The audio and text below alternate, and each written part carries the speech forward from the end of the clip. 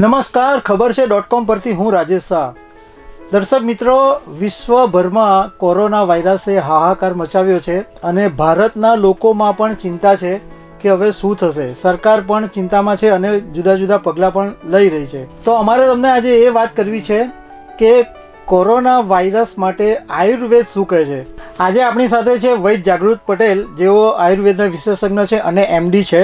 Ayurveda corona વાયરસને કેવી રીતે મદદ કરી શકે એની વાત એમની સાથે કરીશું. જાગૃતભાઈ ખબર છે ડોટ કોમમાં આપનું સ્વાગત છે.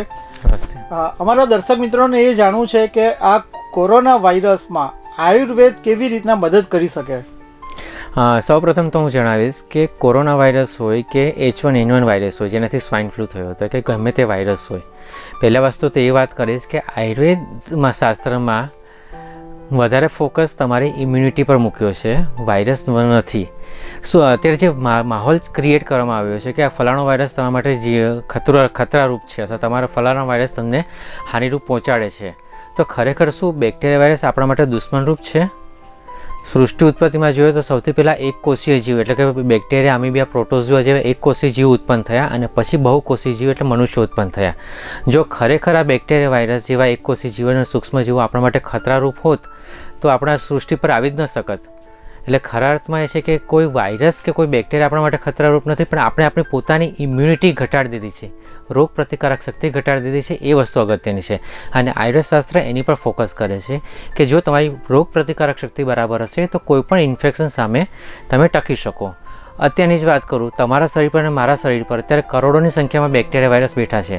અથવા આપણે જે શ્વાસ લઈએ છીએ એમાં પણ ઘણા બેક્ટેરિયા વાયરસ જાય છે. પરંતુ આપણને આમાંની કોઈ તકલીફ થતી નથી. કારણ આપણી રોગ પ્રતિકારક શક્તિ ઇમ્યુનિટી સાબુત છે. એટલે આપણે સ્વસ્થ રહી શકીએ છીએ. તો આયુર્વેદ શાસ્ત્રનો હેતુ એ છે કે સ્વસ્થ વ્યક્તિની સ્વાસ્થ્યની રક્ષા કરવી. એટલે મતલબ કે વ્યક્તિની ઇમ્યુનિટી જાળવી રાખો જેથી બેક્ટેરિયા વાયરસનું ઇન્ફેક્શન લાગે નહીં. અને આજે હું તમને એની પર ચર્ચા કરવાનો છું ખાસ. જાગૃતભાઈ તમે ઇમ્યુનિટીની વાત કરવી. તો એક સામાન્ય માણસ તરીકે એ જાણવું છે કે ઇમ્યુનિટી છે શું?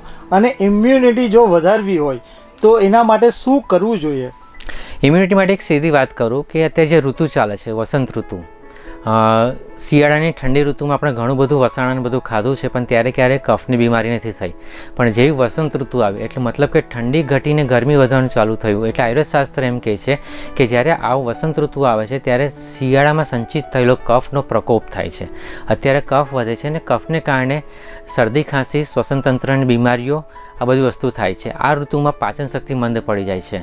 તમે જોયું જ હશે કે અત્યાર સુધી જે પણ બે સ્વાઇન ફ્લૂ છે કે અત્યારે કોરોના વાયરસ છે કે એની પહેલાં સાર્સ ને બધા જે પણ રોગો થયા, એ મોટાભાગે આ ફેબ્રુઆરી, માર્ચ, એપ્રિલ, આ ત્રણ મહિનાના સમયગાળામાં જ થયા છે.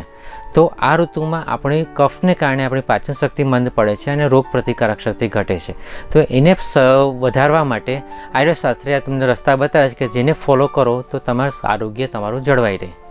હા, તો એ રસ્તા આયુર્વેદ શું બતાવ્યા છે એ અમારે જાણવું છે કે ઇમ્યુનિટી વધારવા માટે આયુર્વેદ શું કહે છે? તો આ સીધી વસ્તુ છે આયુર્વેદ શાસ્ત્ર એમ કહે છે કે આ ઋતુમાં કફ વધે છે. એટલે કફ ન થાય અથવા કફ જે થયેલો છે, કફ એ બહાર નીકળી જાય એવા ઉપાય કરો. કફ ન થાય એટલે માટે ઠંડુ પાણી નહીં પીવાનું, ઠંડી વસ્તુ ઠંડા આઈસ્ક્રીમ કે ફાસ્ટ ફૂડ પચવામાં ભારે ખોરાક નહીં ખાવાનો, જેથી કફ બને નહીં. શરીરમાં જે કફ બન્યો છે, તો તમે ગરમ પાણી પીશો તો કફ છૂટો પડીને નીકળી જશે. એટલે ગરમ પાણી પીવાનું રાખો. ઘરનો ખોરાક તાજો ગરમ ખોરાક અને પચવામાં હળવો ખોરાક વધારે ખાવાનો, મમરા, ધાણી, એનો ઉપયોગ વધારે કરો, તો જેથી તમારે કફનો ઘટી જાય. એ રીતે તમે આદુ, તુલસી, મરીનો પણ ઉપયોગ કરી શકો, જેથી કફનો નાશ થાય. એ ઉપરાંત બપોરે સૂવાનું નહીં રાખવાનું અને રાત્રે ઉજાગરા નહીં કરવાના. તમને આપણે જોયું જશે કે અત્યારે આપણી લાઇફસ્ટાઈલ એવી બધી ફાસ્ટ થઈ ગઈ છે ને એને કારણે આપણી ઇમ્યુનિટી ઘટે છે. બીજી એક વસ્તુ છે કે જે અત્યારે વાતુ, વાયુનું પ્રદૂષણ છે. વાયુના પ્રદૂષણને કારણે પણ આપણે શ્વસન તંત્રની બીમારીઓ થાય છે. તો એનું પણ ધ્યાન રાખો. થોડો યોગ પ્રાણાયામ પણ કરી શકાય. અને સાથે શરીરમાં જે કફ વધી ગયો છે, એ કફ તૂટીને બહાર નીકળે. શરીરમાંથી કફ બહાર કાઢી નાખે એવી દવા લો. નહીં કે શરીરમાં કફ સુકાઈ જાય. જો તમે શરીરમાં કફ સુકાઈ જાય એવી દવા લેશો, તો એનાથી તમને થોડું સારું તો લાગશે, પણ વારે ઘડી રોગ વધતો જશે.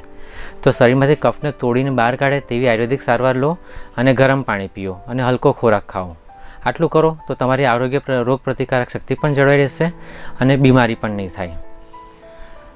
તો દર્શક મિત્રો આ હતા જાગૃતભાઈ પટેલ કે જેઓ આય- આયુર્વેદ વિશે સારું એવું જ્ઞાન ધરાવે છે અને તમે એમની પાસેથી જાણ્યું કે જો તમારી જીવનશૈલીમાં તમે આટલો ફેરફાર કરો તો કોરોના વાયરસ હોય કે કોઈ પણ બીજો વાયરસ હોય તો એની સામે તમે બાદ ભીડી શકો એમ છો.